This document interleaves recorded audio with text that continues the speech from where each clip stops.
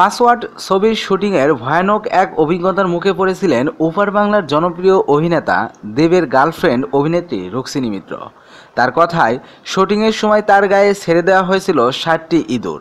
তবে animals রাইটসের certificate পেতে দেরি হয় ছবিতে ওই দৃশ্যটি রাখা সম্ভব হচ্ছে না বলে ভারতীয় গণমাধ্যমকে দেওয়া এক সাক্ষাৎকারে জানিয়েছিলেন রুক্সিনী।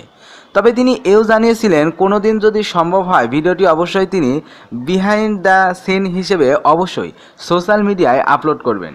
সেই মতোই অবশেষে দেখা মিলল সেই ইঁদুরের দৃশ্য, যেটা কিনা পাসওয়ার্ডের জন্য শ্যুট করা হয়েছিল। নিজের সোশ্যাল মিডিয়াতে শুক্রবার রাতে ভিডিওটি পোস্ট করেছেন রুক্সিনী মিত্রে নিজে।